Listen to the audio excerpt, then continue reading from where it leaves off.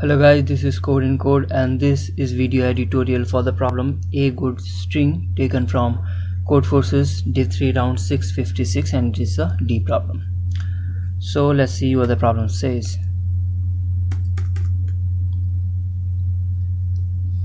The problem says that we are given a string and it is of the form of 2 raised to power k. The length of the string is of the form of 2 raised to power k. That means uh, the string length is a power of 2 now uh, there is a definition of c good string. So a string s is called c good if one of these condition is true. First the length of the string is 1 that means string contains only a single character and that character should be equal to c. Then we can call it a c good string. Otherwise the length of the character uh, sorry the length of the string is greater than 1 that means you can divide it into half uh, into two halves. And the reason you can equally divide it into two half is this. That is why the length of the string is perfectly power of 2 because when uh, when a number is perfectly power of 2 you can divide it equally in, in two halves. So if the number is 8 you can divide it into 4 and 4 and now it becomes 4 4 can be divided into 2 into 2 similarly 2 can be divided into 1 so that is the only reason why the string length is power of 2 so that we can divide it into halves again and again till the string length reaches to 1 now uh, if the string length is 1 we know what to do. Otherwise if the string length is greater than 1 then I just make just let me increase the font size yeah. So if the string length is greater than 1 we can divide it into two halves.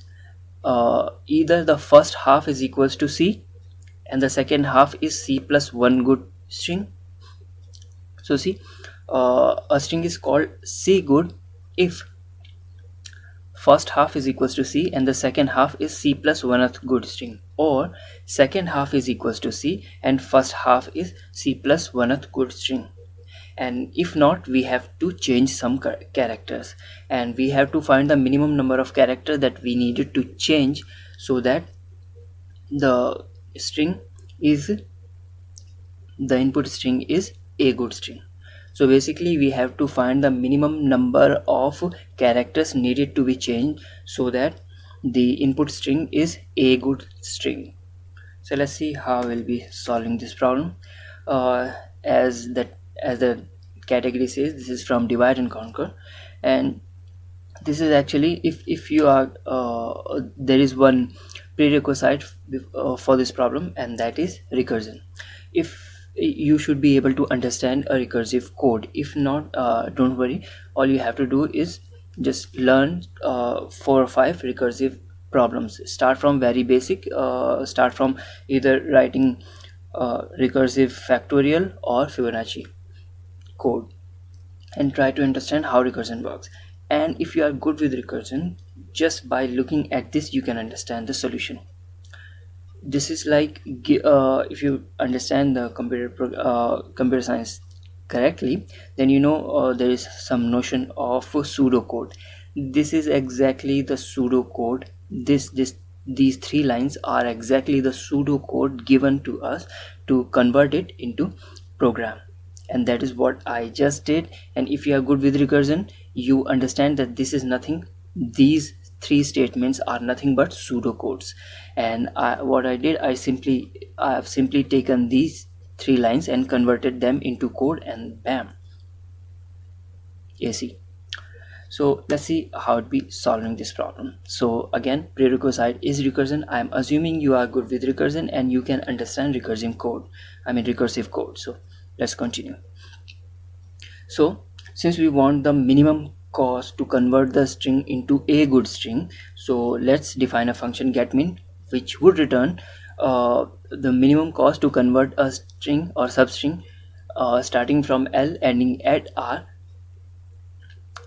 a good string with ch I mean this getMin function would return the minimum cost to make the substring L through R a ch good string. I'm not calling it C good string because the parameter I've taken ch so that is why I'm calling it ch good string. So what would be the answer of the of the question of each query given here for example what would be the answer of this query the answer would be uh, get min 1 n uh, 1 comma n comma a. Because get min function returns the minimum cost to convert the whole of the string ranging from L to R. So L to R should be 1 to n because we want this whole string we want this whole string to be converted into a, a a good string. That is why the character I'm passing is a and the range is 1 through n.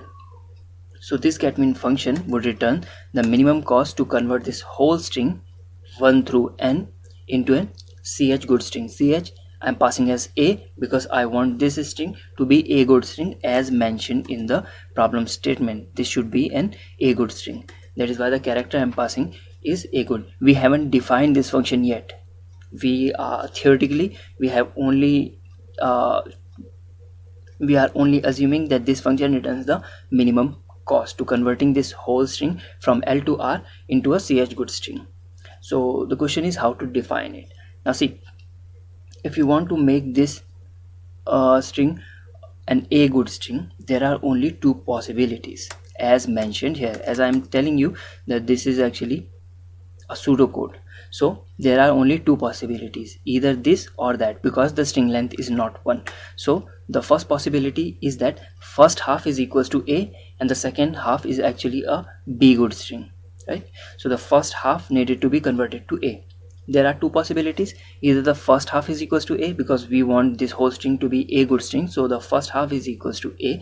So that is what i have done here. Or the second half is equals to a what i have done here. So see what is this and what is this cost? See if we want first half to be equal to a all the character must be equal to a. If some are not we need to change them. So you can see in first half there are two characters which are not equal to a so we need to change them. So this is one cause. Whenever you are going to convert uh, whenever you are going to uh, whenever you are going to uh, change either the overall string to this or this because we have two possibilities uh, for each of the possibility we have two costs defined with it. First cost is when you are converting the first half to equal to ch then there are some characters that you need to change and that is first cost. And what we can see here it is 2 because I have to change these two character into a. So this is first cost. And the second cost comes with you have to convert the other half into ch plus one of good string right? So currently ch is a because I want this to be an a good string. Now the second half needed to be converted into b good string. So what is the cost of converting the second half into b good string? There must be a cost defined with it as well. So that is the second cost. So whenever you are uh, exploring uh, one of the possibilities because there are two possibilities either convert the first half into ch character and the rest convert into ch plus one of the string or convert the first half into ch plus one uh, string and the second half into C, uh, all of the characters ch so for each possibility there are two possible costs uh, associated. So let's see how you would calculate the first cost. Of course calculating first cost is easy. All you have to do is calculate the minimum and uh, if you are exploring the first uh, possibility that means you are converting the first half to equal to ch that means L2 mid must be equal to ch so the cost would be the number of character which are not equal to ch and if we see inside the code this get cost returns the number of character which are not equal ch in the range L2R, right? So it would run a loop from L2R and check how many characters are not equal to ch and that would be the first cost. So first of all since we have two possibilities so just just this is the getmin function which returns the minimum cost to convert this is substring l to r into ch good string. So first uh, this is the base case i'll be explaining in a moment. If l is not equal to r if l is equals to r that means the string contains only a single character. So uh, i'll be explaining this in a moment. Otherwise the string contains more than one character that means we have two possibilities to explore. So first calculate the mid and then we have two possibilities. First convert the first half oh just a second convert the first half convert the first half into ch and that has some associated cost. And what is the cost? The cost uh, this function would return that cost how many character you need to change? Because there are some characters that needed to be changed. Uh, so when you are converting the first half to be equal to ch then we need to count the number of character we need to change. Plus we need to count the total number uh, the cost of converting the second half into ch plus one uh, ch plus plus one good string. So that is why i'm making a recursive call to from mid plus 1 to r that is the next half needed to be converted to be ch plus one at good string. And what is the cost of it? Of course get min function would, uh, would give you that. And that is why we are having a recursive call to that. And why recursive call? See here we wanted to calculate the minimum cost uh, what getmin function returns you. Getmin function returns you the minimum cost to convert the string from l to r into ch good string right?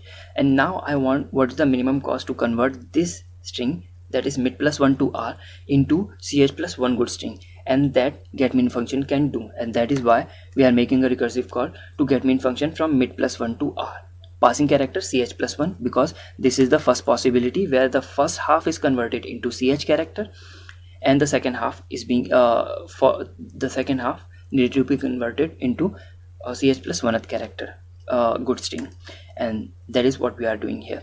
First half we are calculating what is the cost of, of converting all of the character in the first half equal to ch and the second half we are converting it into ch plus one good string.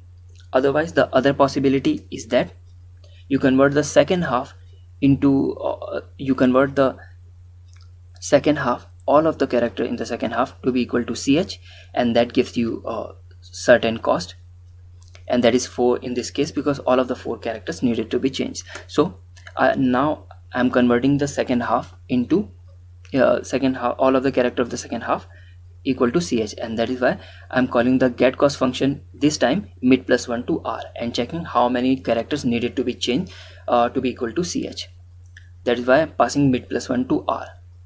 That is one cost and another cost would be the to convert the first half to be equal to ch plus one good string. For that of course l would be l and r would be mid and would be passing the ch plus 1 and this is how the recursive code works. And in each test case what i'm doing is simply reading n the number of character and th this is a for loop rep is a for loop that runs from 1 to n. Each time reading the character in ar array. Ar is a character array and i'm using one base index system. So as you can see this the recursive part is pretty much clear. And as I explained earlier that this is actually uh, this thing uh, these three statements are actually uh, pseudo codes so you see this says the first half should be equal to c and the second half should be equal to c plus one good string. And that is exactly what we have done here. The first half we have converted to ch and the second half we are going for uh, what is the minimum cost to convert it ch plus one good string. And the third statement says maybe that uh, one of the possibility is to convert the second half uh, into ch uh, equal to ch and the first half to be ch plus one good string. And that is exactly what we have done here. So i've done nothing but taken the statement and convert it into code and that is called the and hence this must be the pseudocode. And now the first statement you don't see anywhere. So the first statement is actually the base case. Because uh, why base case? Because if uh, the number of characters in the string is equals to 1 you can't divide it into left or right and that is that means you have to stop here. And if the number of characters are same that means l and r should be equal to 1 if l is equals to r that means the string contains only a single character which is which can be referenced as ar of l or ar of r. If it is already equal to ch you don't have uh, you don't have to change it so you can return the cost 0 if it is not equal to ch that means you need to change it to ch and that means it would return, uh, result into one cos and that is why you would return one. So you see this is the base case and these are the recursive calls. And this is how you solve this problem. So if you are having uh, certain difficulties understanding this problem so what uh, it might be because of the recursion. So i'll advise you to solve some problems using recursion if you are solving problems using DFS and uh, segment tree I think uh, you should be good with recursion because all of those are actually uh, all of those actually use recursion. So this was how you solve this problem. If you have any doubt or query of course you can ask me in the comment section and the link of this code i'll be posting in the description so you can use it as a reference code. So thank you guys for watching. Until the next video drops keep coding. Thank you